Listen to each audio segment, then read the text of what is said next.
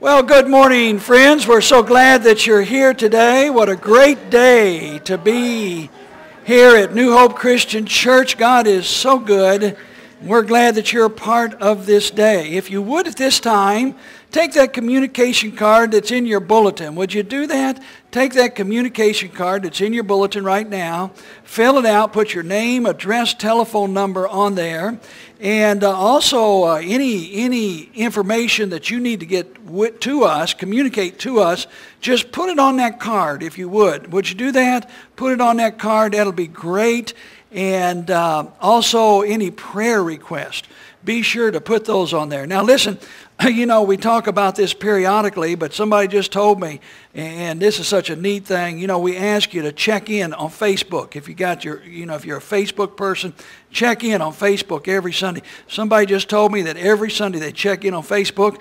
Their boss at work saw it, came to her and said, you know, Every Sunday I notice you check into church. It convicted me, and I've decided to go back to church, okay? So don't take that for granted, all right? Now, we want them to come to church here, but that's all right. You know, they're going to church, and that's good. That's a good thing. So uh, be sure to check in on Facebook if you do do Facebook.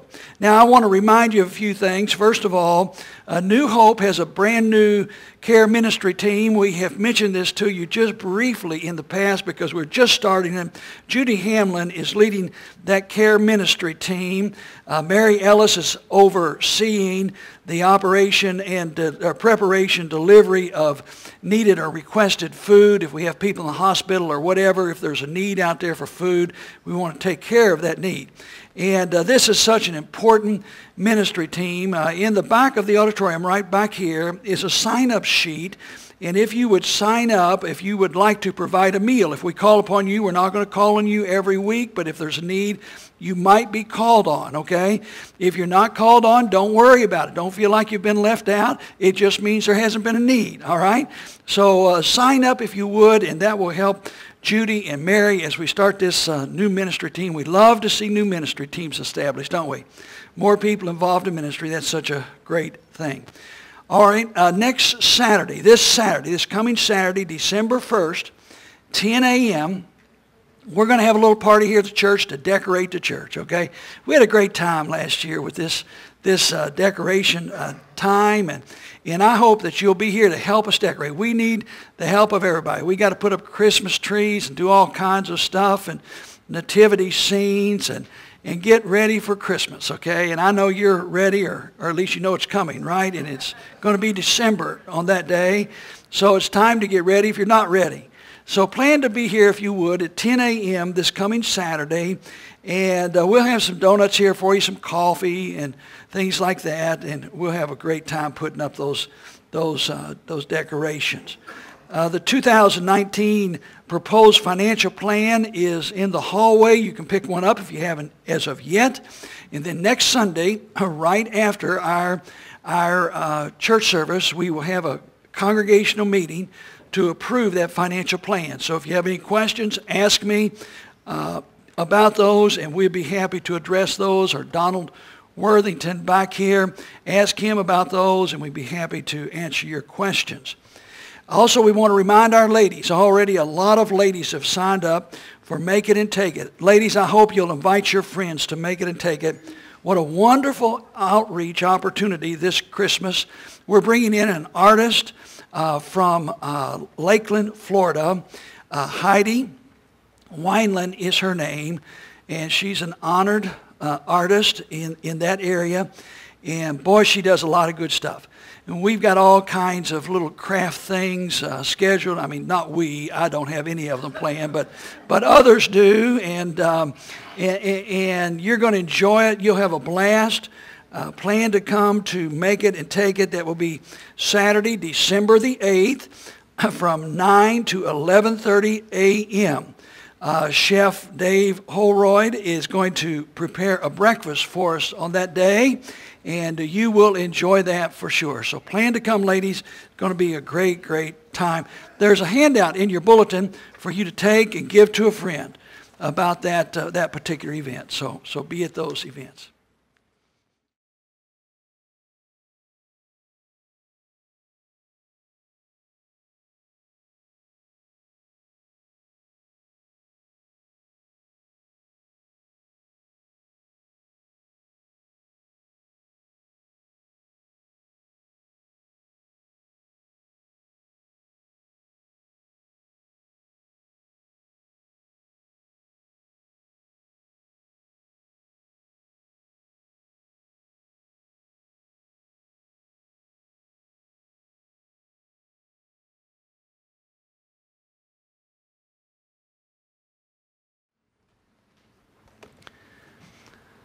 Place was Jabalpur, India. A young mother very quickly gathered her infant son. His name was Prem. They ran through the house as quickly as they could, gathering a few possessions and began to run for safety. The maidservant of the house had informed the mother that the father was going to kill her because she had decided to become a Christian. She ran as fast as she could for safety, and while she was running, she cut her foot. It turned into tetanus. It wasn't very much longer until she died. And Prim, the baby son, was left an orphan. This was the beginning of Prim Lall's life. British missionaries took Prim and, and made a commitment Uh, to Prim that they would raise him in the way of the Lord. That's the only commitment they could make to him was simply to raise him in the way of the Lord. They changed his name to Samuel. He became known as Samuel Lall. He eventually moved to Damoh, India. He met Martha there. She was 23 years old. They had three children, Stanley, Vijay, and Romola. Vijay and his wife, Vijay became known as Dr. Vijay Lall, and Pushpa, uh, his wife Pushpa excelled in education and along with Stanley started, uh, started a ministry uh, known as the Central India Christian Mission in 1969. Romola married Jay Henry. Jay Henry came to the United States, and when he came to the United States, he received a college education, returned back to India, and started Bethlehem Bible College. Since 1969, Central India Christian Mission has faced unprecedented growth. Since 1969, listen to this, 17,000 people in India have been baptized into Jesus Christ. In 1970, their first church plant was planted Today, 3,000 churches have been planted by this particular ministry. In 1970, they started their first school with 17 students. And by 2014, they had 2,466 students attend their school, and 3,439 students had graduated from their schools. In 1971, the first new church plant to reach unreached people groups was started, and now today 67 churches have been planted to reach the unreached people group in India. In 1972, they held their first leadership training session. Today, over 10,000 leaders have been trained by these sessions. In 1975, they opened their mobile eye clinic. 6,000 people have been screened in their clinics. And in 1976, they trained their first evangelists, and since then, 486 evangelists have been trained to spread the gospel throughout India. In 1981, they opened an eye hospital. In 1982, they started a media ministry, and to date, they believe that 100 million people, listen to that, 100 million people have been reached for the gospel through their media ministry. And their productions have been seen in 52 different countries. In 1993, Dr. Vijay Lall died, and in 2001, the Dr. Vijay Lall College was started and today, 1,716 have graduated from that college. Now, I tell you all that to tell you this. It all began with a little baby orphan, Samuel Lall, who had only one commitment on his life, and that is that you will be raised in the way of the Lord. And because of that commitment, thousands and thousands, unnumbered people have been converted from Hinduism to Christianity. It all began with one little orphan baby. Today we're talking about a birth announcement. Our scripture text, if you take your Bibles, it's Luke the first chapter. Just turn to Luke the first chapter, verse 26 this morning. Luke 1, verse 26. We love birth announcements, don't we? We love to see them. We love to hear about them. And God again takes the initiative when he sends Gabriel to the region of Galilee to present the most important birth announcement in all of history. And God's birth announcement is presented to an engaged virgin. Her name is Mary. And God will bring an unexpected addition into the family. Look with me at that scripture text in Luke 1, starting with verse 26. In the sixth month of Elizabeth's pregnancy, God sent the angel Gabriel to Nazareth, a town in Galilee, to a virgin pledged to be married to a man named Joseph, a descendant of David. In this engagement in the first century was a part of a two-staged marriage process. The engagement started, number one, with a betrothal. That was a formal, witnessed agreement to marry and to give money for the bride. That's how it all began. And at this point, the bride legally became the wife of the groom. And then there was a second part. About a year later, the actual marriage took place and the husband took the bride to his home. We know from history that you could enter into one of these engagements at the young age of 12. We don't know the age of Mary. But we can be guaranteed that Mary was a young bride. And it was during this engagement time that Gabriel presented that birth announcement. Now, when we look at that birth announcement, we learn three essential facts about Jesus' birth. The first fact that we learn is this. Jesus' origins are of the Holy Spirit. Scripture puts it this way in Luke, the Holy Spirit will come on you and the power of the Most High will overshadow you. So the Holy One to be born will be called the Son of the Most High, the Son of God. Now I want you to notice this.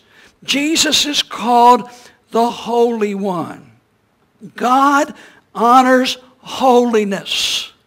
And Jesus is set apart as the Holy One. He is set apart as the Son of God, and he becomes a model of holiness for each of us, and we are to follow his model of holiness. And then there's a second essential fact about the birth of Jesus in this announcement. His birth as a man is in the lineage of David, a royal line. Now, it just so happened that I was born in the lineage of the Stuarts. If you know anything about the lineage of the Stuarts, you know that the Queen of England is in the lineage of the Stuarts. So I was born in the same lineage as the Queen of England. Let me tell you what that means. That means that if about 1,200 of the right people either died or were killed, and it would include my mother, by the way, who is here today, all right? If they either died or were killed, I would become the King of England. You got that picture? Let me tell you something today. Scripture tells us that because of Jesus, we are in that Davidic lineage. And the most important thing in all the world for you as a Christian is that you are in the lineage of Jesus. We are related to God. And sometimes we sing a little song, God is my Father, Jesus is my brother, and the blessed Holy Spirit is my guide. And the challenge from Scripture is that we act like we are royal people and we belong to God. And then there's a third idea in this birth announcement. His birth is superior to that of John the Baptist as well as every other birth in history. Jesus is the superior one. We point directly to Jesus and we look at Jesus. Now, the scripture not only talks about the announcement, but the scripture is very much about Mary. I want us to spend a little time looking at Mary this morning. Luke, the first chapter, verse 27 in this text says, the virgin's name was Mary. I want to ask you a question today, and I think it's a good question for us to consider. What does it mean to be favored of God? And I want us to look at that this morning. Mary is a model believer. Scripture explains to us that God will never fail you. You can always trust God. Look at verse 37. For no word from God will ever fail. Remember that. God will never fail you. And then Mary is favored by God. In verse 30, the scripture says, But the angel said to her, do not be afraid, Mary. You have found favor with God. Let me tell you something about Mary. Mary is a model of God's grace. She had been graciously, graciously chosen by God to bear God's Son, whose name would be Jesus, which means Savior. Jesus was not born by Mary's merit. Instead, it was God's unmerited favor. From the very beginning of Jesus' life as his birth, Jesus would focus on grace. And when we look at Mary's life, she is the object of God's unmerited favor, graciously provided goodness from God. And Mary is seen as a faithful follower of God. Now, the scripture tells us she was perplexed. Have you ever been perplexed when you suddenly realize that you were favored by God? Some of you have told me about those times. You go through difficult days in your life and think, wow, this is tough. But then you see how God walks you through those difficult days. You'd say it's tough being favored by God, and that was the story with Mary. She's perplexed, and God uniquely steps into her life and brought her into his service. And God steps into our lives and brings us into his service. And her greatest asset is faithfulness. The challenge from Scripture is that we would be a faithful people. For all of Scripture, she's honored as a model of faithfulness in her openness to serving God. And Gabriel's greeting is literally grace. You are highly graced. And that's the story of Mary. Mary is thoughtful. Verse 29 of the scripture text says, Mary was greatly troubled at his words and wondered, what kind of greeting is this? Mary has difficulty comprehending the announcement. She even asked the question, how can this be? She knows that she cannot be pregnant. She could not conceive a, a child because she is still a virgin. The answer comes in terms of God's creative, overshadowing power. I'm reminded of the song that we sang this morning. You have never failed me yet. You have never failed me yet. And that must have been the song on Mary's heart. And Mary's heart is, and her faith is put to the test early on.